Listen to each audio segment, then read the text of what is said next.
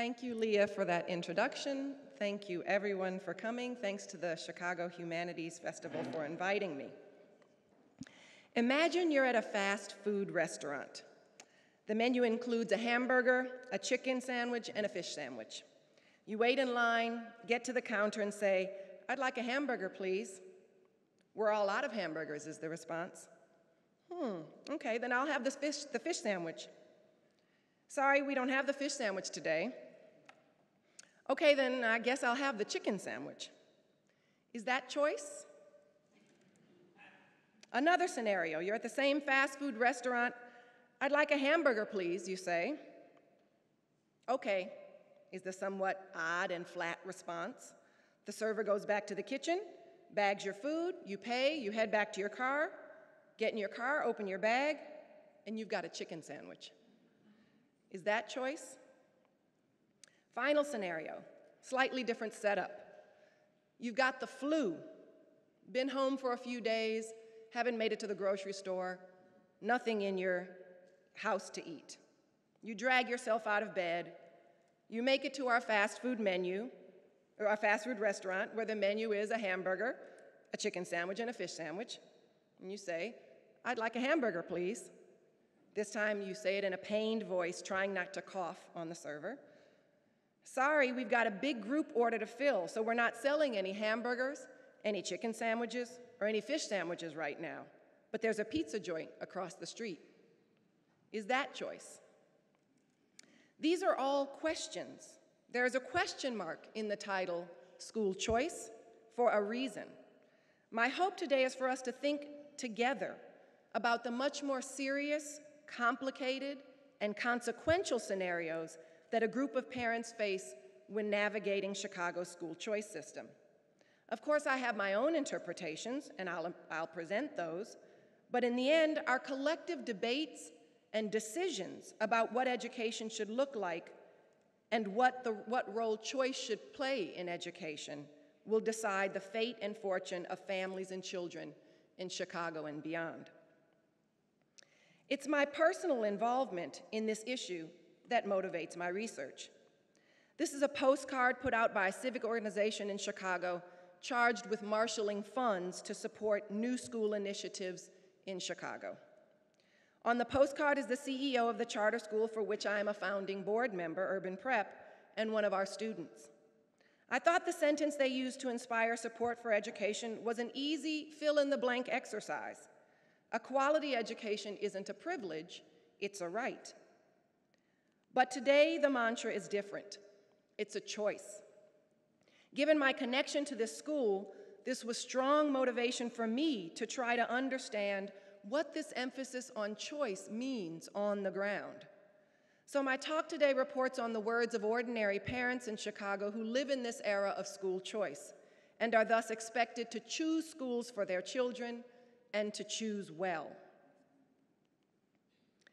There are many types of school choice in Chicago and around the country. Through No Child Left Behind, any student can transfer out of a failing school that gets federal support. The two kinds of choice I'll be talking about today are intra-district choice and public charter schools, which is one type of intra-district choice, because that's what we have in Chicago.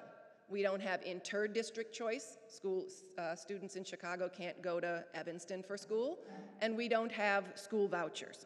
So I'll be focusing on those middle two. If school choice unambiguously led to broad positive outcomes for students, higher test scores, higher graduation rates, et cetera, then it wouldn't be controversial. I wouldn't have done this research. It wouldn't be, you guys wouldn't be here today, and we'd all be happy. But that's not the case. I can talk more about this research in the Q&A if you'd like, but for now, the important kind of grounding point is that the evidence about school choice is quite mixed sometimes positive, sometimes negative, and as a result, we continue these debates. We also debate choice because it's not always clear what we're talking about when we say choice, as my opening scenario suggested. So I try to break down choice by thinking about what advocates mean when they say choice, what they're trying to achieve through choice. Since my own motivation has been my involvement in improving educational outcomes for African American children, I focus on school choice in the black community.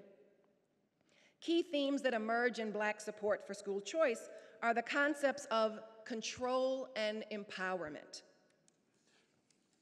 Other concepts that I won't discuss today include things like agency and freedom, markets, competition, responsibility.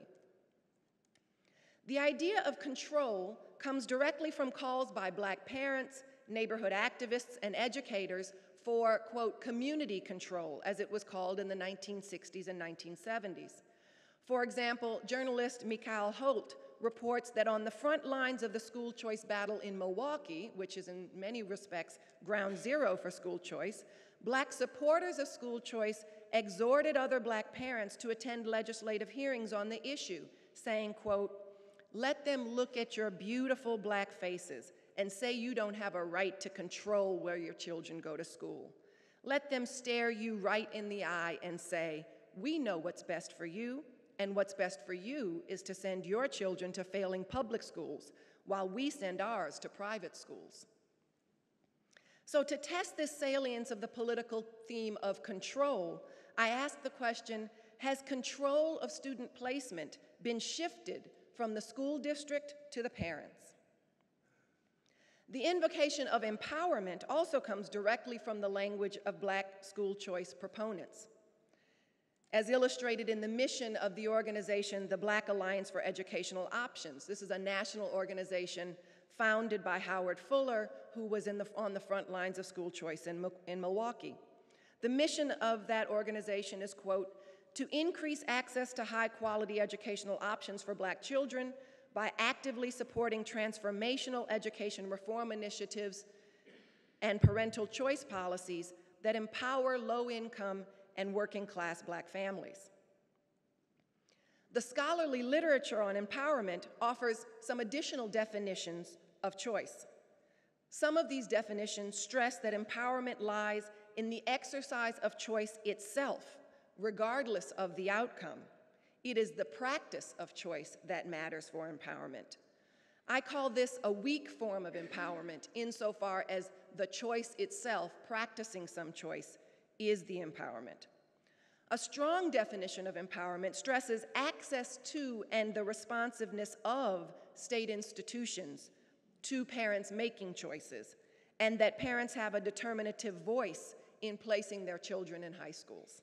So I ask of these data that I'll talk about, is there weak empowerment? Is there strong empowerment? Is there both or not? As I mentioned, like many cities, Chicago allows students to attend schools outside of their designated attendance areas within the district, intra-district school choice. There's a significant variety in the types of schools, of, student, of schools available in Chicago public schools. School types and programs at the high school level include neighborhood schools, career schools, charter schools, contract schools, magnet schools, military schools, selective enrollment schools, small schools, and special education schools.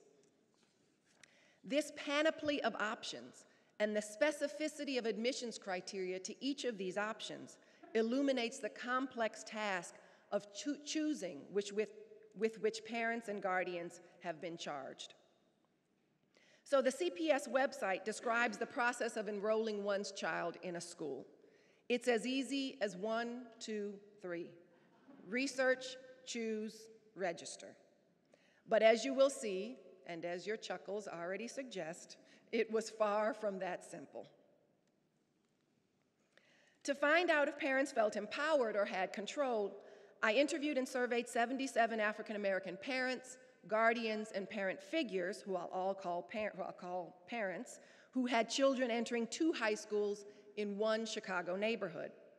In order to understand different kinds of decisions, we chose parents from one neighborhood high school, which I call Neighborhood High, and one charter high school, which I call Charter High, located in the same predominantly African American neighborhood.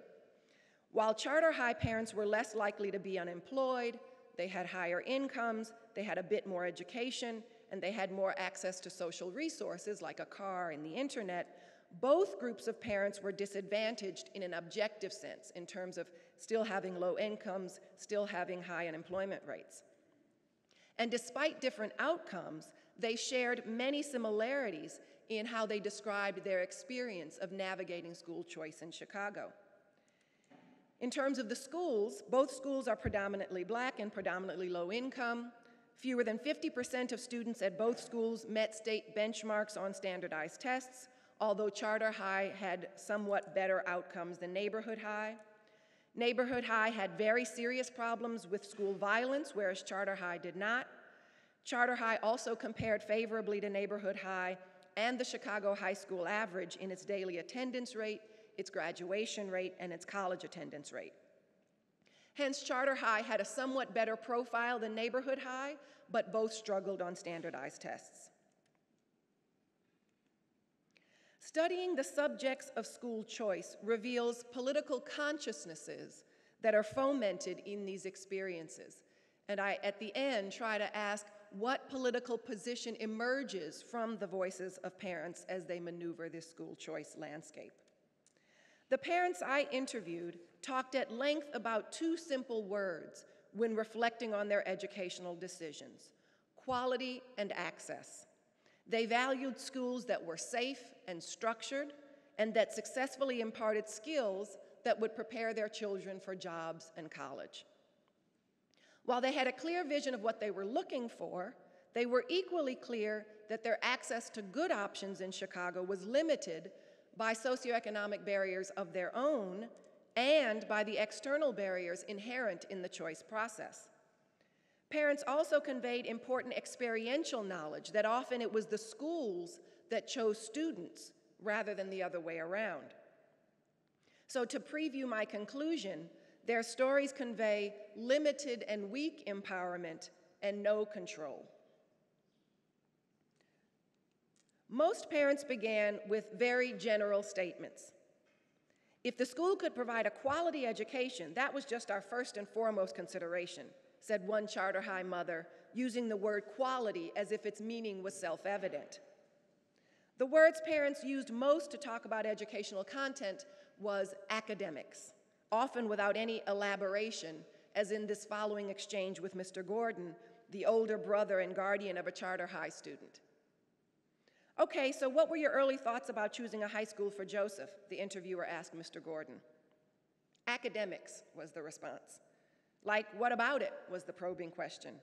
Academics was the plain response again. Relentless, the interviewer continued. I had two graduate students helping me, so this was a graduate student doing this interview. Uh, so the interviewer probed, uh, like, what were you looking for as far as academics? Mr. Gordon, now thinking the interviewer was completely dense, responded, in other words, his goal is to go to college. So for Mr. Gordon and other parents, academics was synonymous with college, and a quality school was a school that featured a curriculum that prepared their children for college. Another content related measure of quality was motivated by having a child with a special need or some kind of disability. Mr. Nelson, for example, a grandfather who, along with his wife, was helping their daughter raise her son, elaborated on his grandson's learning challenges. And he said, quote, his reading, he got to learn how to read, like in a book, without stuttering along the words. Just read it. He have to take his time. He'll know the word, but he reads slow. And I used to tell him that he have to read more so he can pick it up. I have him reading the newspaper articles, me and his grandmother, you know. So he needs improvement on his reading. Not to learn how to read, but to learn how to tell a story reading it without just stumbling over the words. And Neighborhood High, they say they got a program for that, a tutoring program. An hour or two hours extra in school ain't gonna hurt them. The Nelson family was trying every angle, reading at home to their son, looking for a grandson, looking for a school that would help him read better. A quality school for the Nelsons was a place that offered that extra help.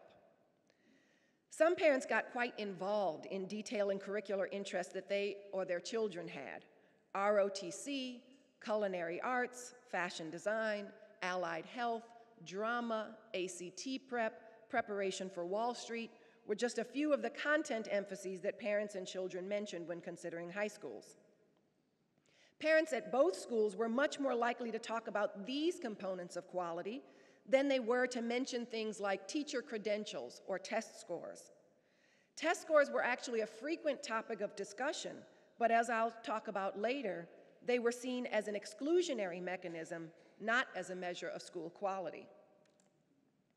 In addition to what would be taught in school, most parents stressed that a good curriculum was useless without structure, and closely related to structure was safety. Nearly all parents mentioned safety concerns when considering high schools for their children. Miss Tinley, a mother of an entering charter high student, shared her thoughts from early on in her decision making process. She said, Some of the questions I ask when considering schools is Is there violence? You know, is there fighting in the school, outside the school? What is the, you know, what is the safety protocol? Is police always out in front? I would prefer police not always be out in front, you know? But if, but if it has to be, then okay. But are they there just to provide safety, or are they there because they think something's going to happen? When parents see police in front of a school, they see three distinct dynamics helpful police protection, a reactive response to prior violence, and the proactive negative labeling of their children. None of these signs suggests a quality school. So, what do parents' discussions of school quality convey about their everyday politics regarding school choice? On the one hand, the fact that parents were comparing and making evaluations of school quality could signal that having a choice among schools was actually important to them. It's definitely an indication of the weak form of empowerment. They were engaging in the practice of choice, they were doing the work of choice. But I argue that listening to parents talk about, excuse me, that didn't sound like that went away. Listening to parents talk about their measures of school quality might, must be placed alongside the fact that many parents felt pushed into choice because mostly what they saw were a, an array of bad options. Choice refers to the preferences and elections of parents and students, whereas options are the array of schools towards which parents direct their choices. So options are, is our menu in our fast food restaurant. Choices is when we ask for the hamburger. The parents I interviewed saw their options as limited. For example, even though her daughter would be attending neighborhood high, one mother said, quote, I told her that she needed to go to a good high school, and believe me when I say, neighborhood was not on the list. A charter high mother who reported not being very optimistic about her options, but was satisfied with charter high, was equally blunt. Quote, I was just looking at the schools that I might want to consider out of, you know, the lesser of evils, because I didn't like any of them. But I'm like, well, out of these, I have to pick something. Hence, parents tried to optimize quality within this landscape of what they saw as suboptimal options. So, how did parents fare in placing their child in a school that in some way corresponded to their definition of quality? 100% of charter high parents reported having chosen charter high, a signal that the school satisfied at least some um, aspects of their quality criteria. Although this doesn't mean that charter high was their first choice. Many charter high parents were looking at a number of other places, and if they didn't get into their first choice, they were still satisfied, as these data also show, with charter high. In comparison, 19% of neighborhood high parents reported actually choosing it, doing some work, making some decision, and choosing it while 38% allowed the geography based school assignment process to transpire. The remainder, 43%, said they were assigned to neighborhood high despite preferring another school to which they had applied. So, this was how early on in the research, when we were asking parents, So, how did you choose this school for your son or daughter? When we asked this of neighborhood high parents, 43% in the end, we had this number, would say, I didn't choose this school, they put me in this school. So that's the 48% who preferred another option and got a chicken sandwich instead. this obviously speaks to the issue of parental control, and those parents didn't feel they had control. Because some parents who allowed the assignment to Neighborhood High expressed regret about it afterwards, only 44% of neighborhood high parents said they were satisfied with the final outcome. or 56% were unsatisfied with the outcome, compared to 100% of charter high parents who were satisfied. So for charter high parents, their practice of choice and their ability to opt out of a mediocre neighborhood school is illustrative of the weak form of empowerment that equates empowerment with choice itself, and they realize that weak form of empowerment. The 19% of neighborhood high parents who explicitly opted in to, to neighborhood high, and the 44% of neighborhood high who, parents who were satisfied with it, also evidence this weak form of empowerment. Whereas the 43% of neighborhood high parents who tried to choose other options but were assigned nonetheless to neighborhood high were unable to realize even the weak form of empowerment. So these data in general provide evidence of limited and weak empowerment among parents. So we see that parents are doing their research as CPS instructs and making some choices, number two in what CPS um, instructs. But what are the barriers? What are the burdens? What are the costs to parents in this choice process? What does it feel like searching for schools when you have our metaphorical flu?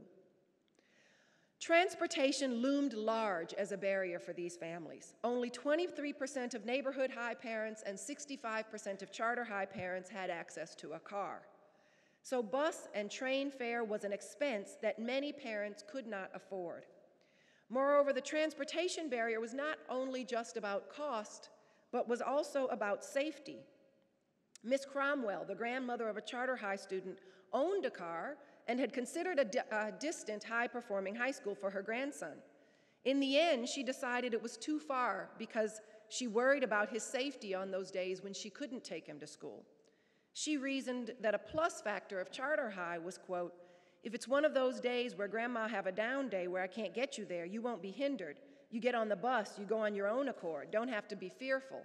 Like I said, at 345, you have to, have to be watchful that the neighborhood changes. Another mother whose son had a learning disability resolved to send him to neighborhood high because it was the only way she could be sure he could get to and from school on his own.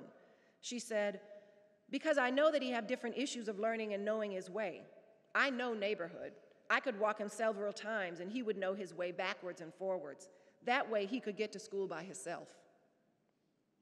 Transportation and distance in general was the most common barrier, but there were many, many others their own and others' poor health, caregiving responsibilities, unpredictable or rigid work schedules, finances, and the trials of being a single parent. All made it hard to search for high schools and to consider what high schools would be possible to get to once they made that decision.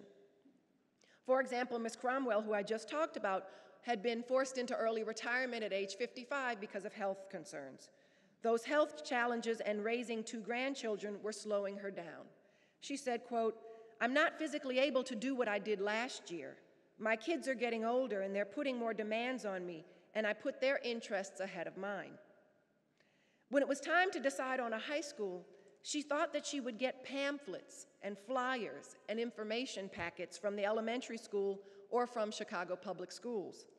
A great big campaign, she said she expected.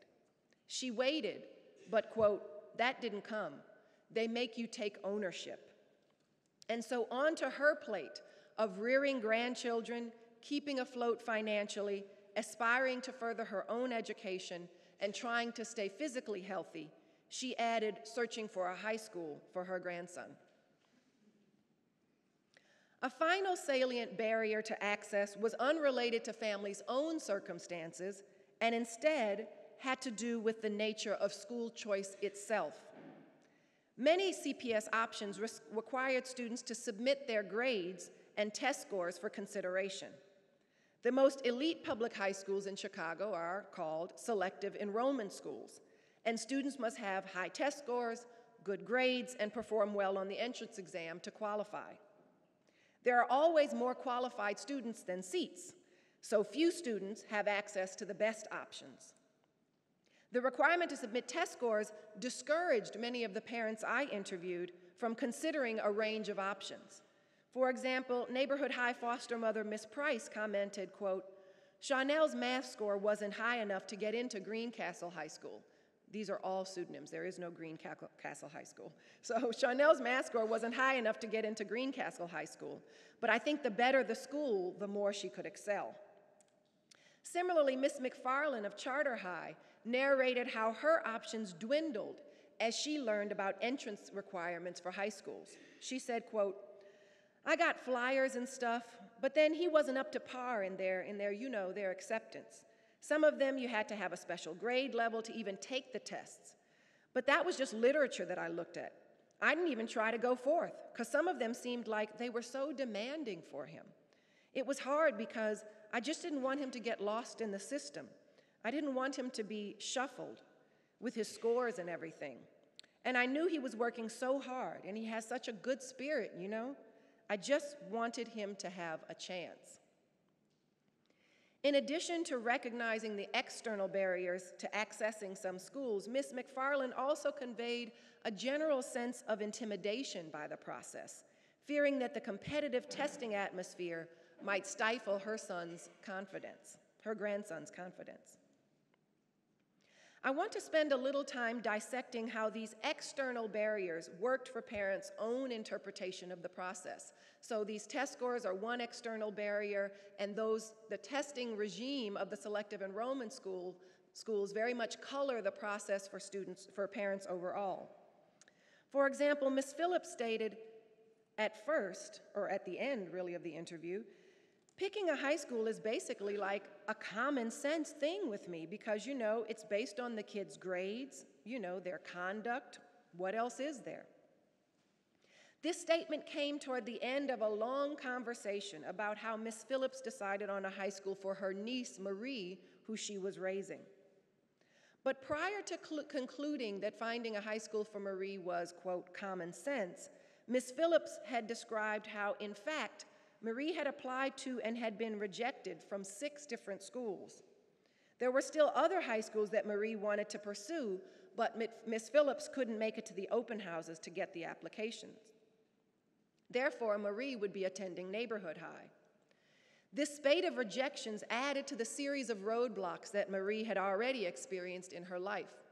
Miss Phillips explained, quote, when she stayed with her mother, she had problems, like moving from one place to another. And then Marie fell behind because really Marie's supposed to be like in the 10th grade. And you know, that had a lot of discouragement and everything for Marie. And now I don't have car fare for her because Marie's mother's not around. So I just try to keep her self esteem up. Miss Phillips conveyed frustration when reflecting on the roadblocks she faced in trying to get Marie into a better school.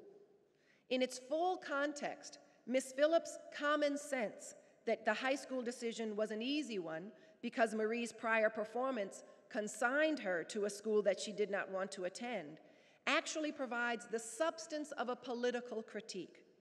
This common sense is a retrospective realization of highly restricted access to good options. This common sense is one of surrender, not of empowerment, not of control. This common sense shines light on the landscape within which many poor and working class black parents and children actually exist, one that is filled with barriers and hurdles and roadblocks and signs of exclusion. Combining the school erected barriers with the challenges of transportation, poor health, single parenthood, and more means that the most accessible option for parents I interviewed is the one that does not require them to do any choosing at all. So I'll give just a brief description. Oh, I was ahead of myself of this last point. I'll give just a brief description regarding being chosen, and then I'll conclude. Both sets of parents complained about the lack of response from schools once they had submitted their applications, while charter high parents in particular were stressed by the uncertainty of the lottery. In other words, both sets of parents described being chosen or not rather than choosing. Roughly one out of seven of, the, of the parents we interviewed reported getting no response from the schools to which they applied. One mother of a neighborhood high student described her confusion as follows They sent a little application that you fill out and send it back to the school, and my daughter sent it in. Maybe they didn't mail the acceptance or rejection letters out. Because we didn't get no response from no high school. A charter high mother echoed this sentiment, saying, quote, I'd send the application out and I wouldn't hear nothing. So it's like you would have to do all this follow up, calling around to five different schools. There was no response to say, Well, I got your application or I have your admissions letter. Nothing like that. Finally, Mr. Nelson had a, attended a CPS high school fair. He had heard nothing back from the contacts he made there, and he described his frustration. I signed up for mostly every school at the high school fair, and I thought that would be that I thought would be good for him, and I didn't receive nothing from none of those schools. I had called Dalton and I called Prosser to ask a couple of questions about the dress code, the grade levels, the school period. And with Dalton, I even talked to some of the students because I used to ride the bus with them. But I didn't receive no flyers, no nothing from none of the schools. Know nothing, none of them. The repetition of the words no, nothing, none of them represents both the grievance and the critique. Each reverberation is an indictment of the system that instructed Mr. Nelson to research, choose, and register. He upheld his part of the bargain, and then he heard nothing from none of them. The test for the strong version of empowerment is if parents had access to or were responded to by state institutions. These stories make it apparent that they do not have strong empowerment and they do not have control. Obviously, charter high parents all heard back from charter high, or they wouldn't have known they gotten in and wouldn't have enrolled their students there.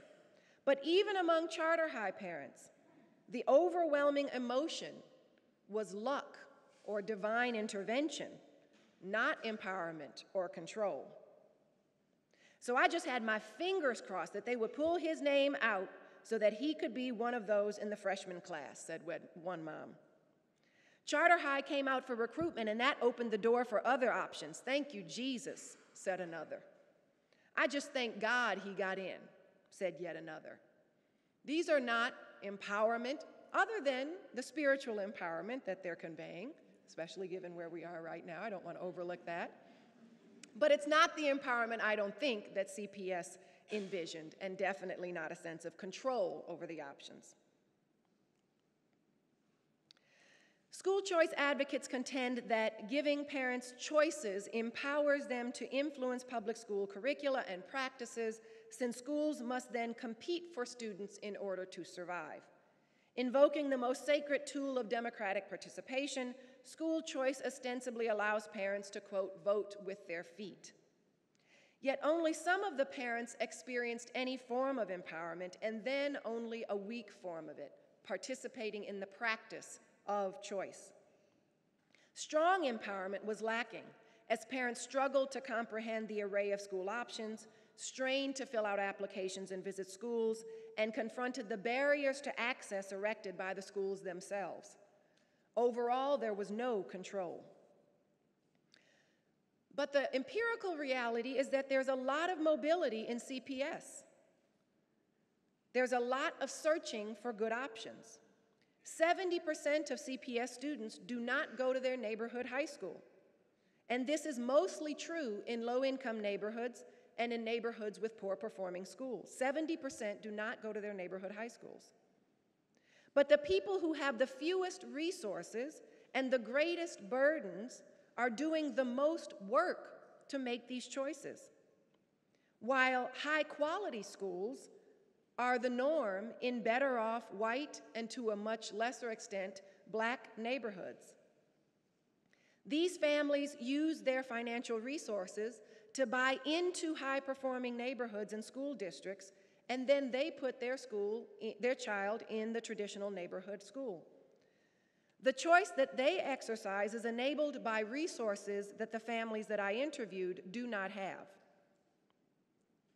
Moreover, any argument that applauds a little hard work as an acceptable price to pay for a finding and getting into a quality school underestimates the cumulative physical and psychological effort that poor, that poor parents expend in making ends meet and surviving.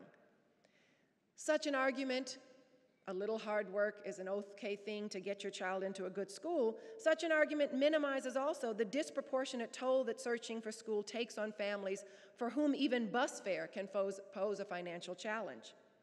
And such an argument legitimizes the logic that accessing a quality public school should require work in the first place.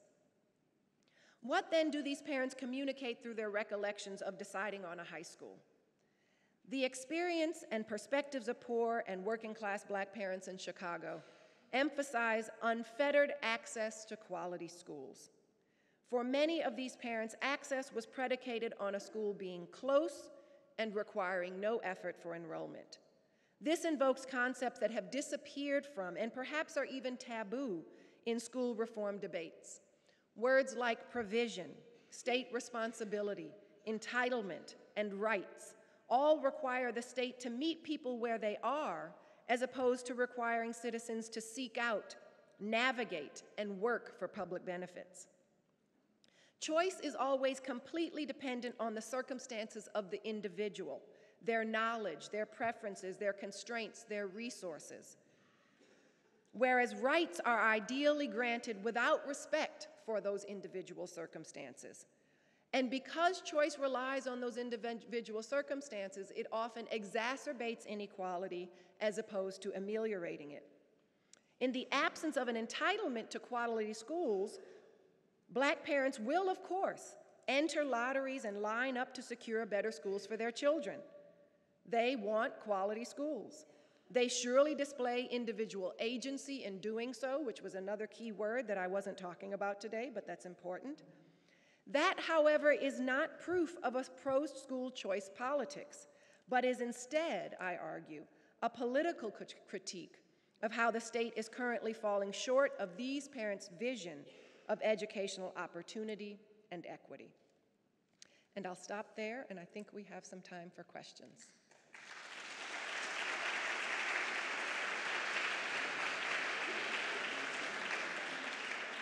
Okay, folks, we're going to take about 15 minutes for questions, so if you'll raise your hand, we'll come around with the mic for you. We can start right here. Yes, how, how do uh, the parochial schools fit into this? Uh, could you talk about what their role at all is with respect to uh, choice? They don't really figure into this because in Chicago we don't have school vouchers. So in states that have school vouchers, um, either through a scholarship, a tax credit and scholarships, or directly from the district, um, families can get vouchers to go to parochial schools or any kind of private schools. Um, Wisconsin has school vouchers, Indiana has school vouchers, Illinois does not. Uh, although I think it's soon to be politically debated. So parochial schools don't play into the particular story I'm telling. Obviously, they play into parents' parents' own sense of what might be out there. For the parents that I interviewed, we asked about that, and the financial cost of parochial schools was something that pretty much none of these parents could, could bear. And so for them, their options were pretty much in the public sector. Hi, um, thank you so much for uh, your talk today. Uh, as somebody who has been a public school educator, now working in the nonprofit education world, I really appreciated what you said, especially around the rights paradigm. I'm curious in today's challenging Chicago environment where the CEO of Chicago Public Schools is being indicted for essentially taking a lot of money uh, that, you know, in, in an environment where 50 schools have closed, I'm gonna, I see increasing distrust in the ability of the public sector to get it done. A lot of your talk focused on parents. I'm curious about what you might say about the impact on students, not just the academic part, but I'm thinking about a story that's unfurling on the southwest side where there's a neighborhood high school and an expanding charter network, and there's instances where the kids are kind of being pitted against each other uh, in, in, in advocating for each of those models. And there's an us and them mentality, which is the last thing that we need to see happen there. I'm curious what you might say about that. Thank you for your question. Um, it's quite unfortunate that that the recent debates about the school opening on the southwest side is in some respects reflective of what um, the ideology that motivates school choice. One of the ideologies that motivates school choice is competition. Unfortunately, that battle that we see could be framed as a kind of competition. And it's not, I would argue, helpful, productive in any way. One of the other ways in which I think this, the competition ideology is problematic is the competition ideology. Again, the competition ideology is make schools compete, parents will vote with their feet, they'll go to the better schools, and the poor performing schools or the schools that can't attract students will die. The other problematic um, part of that ideology is as schools die, the students die with them. And as those schools are starved of resources, have, you know, don't have a lot of offerings, there are still students in those schools. And our uh, acceptance of the idea that schools might die while they have stu- students in them, I think is problematic. The last thing I'll say um, in regards to that is uh, a graduate student of mine, um, Vani Panfil, did research on school closings in Newark. And she actually interviewed parents, teachers, and children. And the most heart wrenching of her data came from the children who blamed themselves for the school closing, thought our test scores were low and that's why they had to, to close the school. It was a bad school, we weren't doing well, that's why they had to close the school. And that kind of self blame is also something that I heard among parents when they were dissatisfied, the neighborhood high parents who were dissatisfied with the outcome. The first thing they'd say is, next time I'm going to really be on it. I didn't start early enough, I didn't apply to enough places, I let him or her uh, kind of run the process because I didn't know what was going on, and I'm going to you know, be more involved the next time, assuming they had a younger child. Um, and that kind of self blame, I think, is part of the way in which school choice um, stifles a politics of rights and entitlement and instead produces the kind of battles that you're talking about.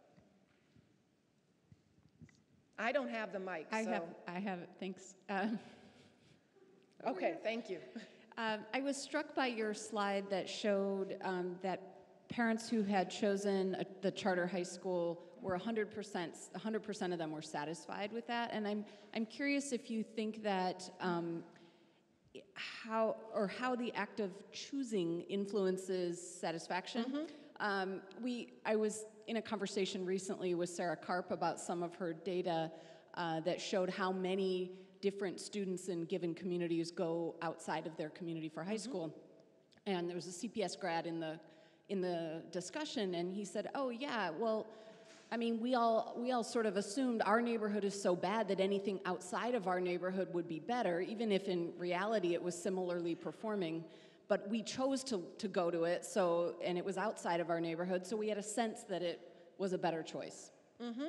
I think you've hit it on the nose, and this there's this topic is well researched nationally, and the data definitely show that parents who make choices are more likely to be satisfied, no matter the quality or character of the school into which they chose, no matter the outcomes of their students. So I think that's interesting uh, insofar as we take satisfaction as a measure, but I think it's only part of the way. Satisfaction is important, and pa- satisfied parents might be more likely to be involved, might be more likely to encourage their child to um, participate in school, and all of those things could have good outcomes for the kids, and I think that's important.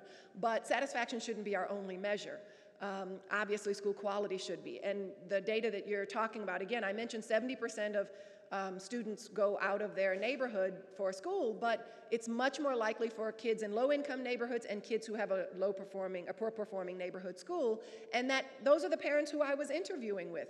And again, my point is that that's backwards. These are the parents who have the most difficult time making ends meet in their daily life, and yet on their plate we're also putting this need to travel outside, whereas I think I have an extra slide for this.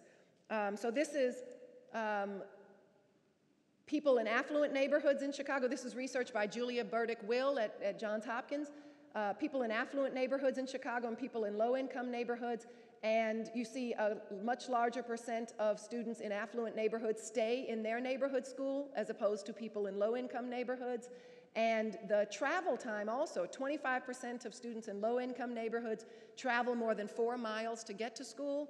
Almost no one in the affluent neighborhoods travel more than four miles um, to get to school. And so it's interesting that, you know, choice, one of the reasons why it's such a popular mantra is that it aligns so well with some kind of core American um, ideologies and language. Free choice is freedom. None of us, you know, one of the big things around healthcare reform was we didn't want a single, single payer system because that minimized our choice, and we want to be able to choose what doctor we go to and so on.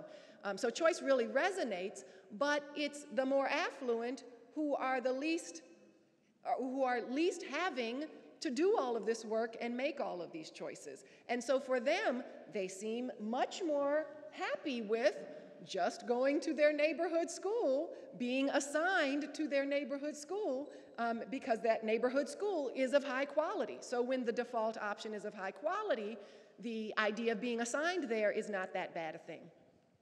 Thanks.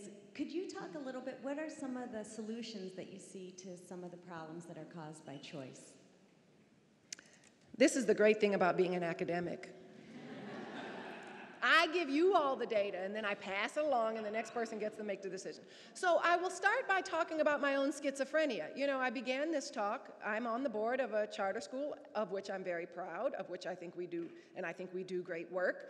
Um, and so my own participation in the charter school came from we are in a crisis moment right now. What can I do to perhaps increase the options, at least increase the number of seats that parents can try to get into.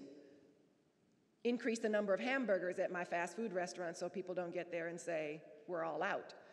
Um, so I see the participation, obviously personally, of people in the choice sector, whether that's charter schools or contract schools or small schools or any of these magnet schools, any of these numbers, of, there, there's lots of choice. But I think um, I supported the efforts of the hunger strikers to keep Dyett open, for example. And I think that kind of organizing, and hopefully the kind of message I'm talking about today, is that we can't lose sight of the importance of making the default options. When I say the default options, I'm talking about the ones where parents wake up on September, whatever is the day after Labor Day, and push Johnny out the door and be like, that's the neighborhood school, go to it, and that that default option is a high quality option. So how do we get to that? I really do think organizing is the way. I think the, I mean, I know the Dyett hunger strikers didn't see their outcome as a total success, but that it's going to be a neighborhood school and the attention to making it a high quality school, I think is the kind of thing that we need to do.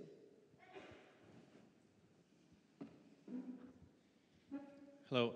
Um, I see that in your data you have some participants who were students who were receiving special education services, and one of the big concerns since the charter inception was that those students tend to be counseled out over time, and I wonder if that was evidence or emerged from the data that you have. So my method was I interviewed parents at the end of their child's eighth grade year, and they were about to enter either neighborhood high or charter high. And so when I say that they were satisfied with their decision, it was that they were satisfied with the outcome, that they were set to go to either neighborhood high or charter high. I didn't then follow parents through that first year to find out if they were actually satisfied with the education they were getting in either of those places. Um, and so I don't know at all about the outcomes for the, for the parents, for the children in those two schools. Hello. Um, question is now, how much time are principals and stuff doing, spending time building their image and uh, doing publicity rather than being educational leaders these hmm. days in this system now? And I also wonder, in the affluent areas, is the board refusing to build uh, additions and new schools um, to make people play the charter school game? Oh, the second question is the board refusing to build it? Yeah, that's a bigger question than I can answer. That's, I think, above my, that, that's definitely outside of my area of expertise, what the board is willing to do or not willing to do. The first question, again, you know, I can refer to other people's research. There's a great book called, uh, by Maia Cucchiara called Marketing Schools, which is about the work that you're talking about. You know, in Chicago, you can drive down the street and there are billboards for schools on buses and there are radio spots for schools. And so there's a lot of marketing of schools going on. Um, I have not done research to know who in the school organization is spending their time doing that, that marketing. Um, you know, many choice schools do additional fundraising, and you know, some of that, some of those funds go to that kind of marketing. But the marketing is part of, again, the ideology behind school choice, which is that this is a competitive field, and your enrollments and your outcomes are what keep you open, and thus you have to um, keep your enrollments up in order to stay open. Uh, and the,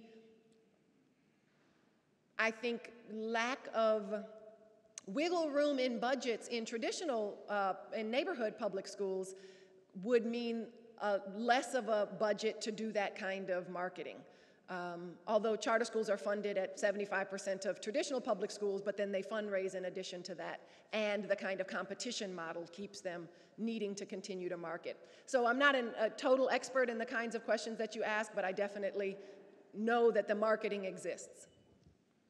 Um, uh, sort of two questions. We'll see if I can throw them in. The first is if you could speak at all to how. A little slower because the echo makes it hard. Sure. Um, the, the first is if you can speak at all to how the parents gathered the information about the schools. And then the second is um, school choice, in a lot of ways, is predicated on having parents in your life who are available. Uh, one of the quotes that you spoke of was a parent who didn't get to go to all of the open houses that she wanted to. And I was wondering if you could speak at all to um, where the families fit in our conversations about public education, where there are parents who, for any number of reasons, don't have the time to do any of this, and where that leaves their kids. Yes, so the first question, how did parents gather their information? I definitely asked that. The, the most common answer was social networks, that they asked their friends, they asked the people at church, they um, asked um, their neighbors. Uh, the second most common way was their own experience was their information. If they had an older child who they had already gone through the process with, if they themselves had lived in the same neighborhood and had gone to the same school, if they had a cousin, those kinds of things. Um, so that's how parents gathered information, and that I think is relevant for two, for one important point is that inequality in networks will lead to inequality in information. Um, the in networks with more information, a wider swath of information will then yield perhaps a, a brighter, water, brighter, broader swath of schools.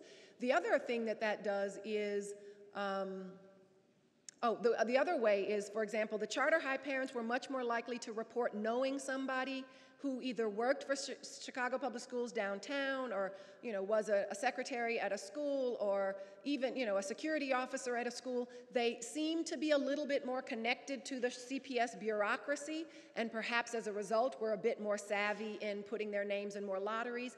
I did find that there was a difference between the number of schools that charter high parents applied to versus neighborhood high pa parents. Neighborhood high parents still on average applied to about three, I think it was three schools compared to, it was either three and five or five and eight, I can't now remember. But there was a difference between the number of schools that each um, group of parents um, applied to.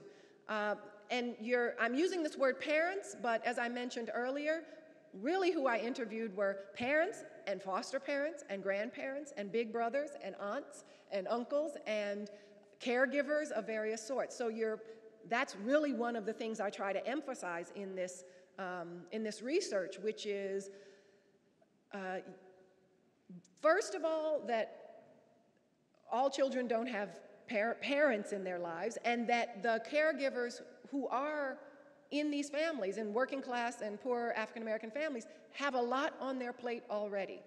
Um, and I have a quote actually from a charter high mom who was very lucky to have gotten into charter high, but spent most of her time talking about but what about that young person whose mother is an alcoholic and couldn't get the application in? And it's not that she felt guilty about her luck, but she recognized kind of where she fit into this system of choice and that there were winners and losers. And she was quite cognizant of the fact that they were losers, lamented that, was still going to put her child, because she had to choose and choose well, was still going to put her child into charter high. But I think she recognized exactly what you're raising in terms of the capacity of parents. I don't mean the intellectual capacity, I mean just the emotional bandwidth and the resources to do so that's necessary to, to do this kind of work. That's all the time we have for today, but thank you so much.